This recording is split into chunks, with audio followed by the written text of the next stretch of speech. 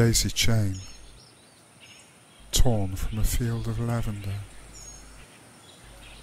Squeeze it tight till its sap turns to saliva. Past your tongue, a swallowed smile caresses your heart. Deeper than what is known to sight, we bless this thought. Through the mist and past the smiles, we parked the tears that made us cry, cast reflections in the sand, and held an echo in our hands.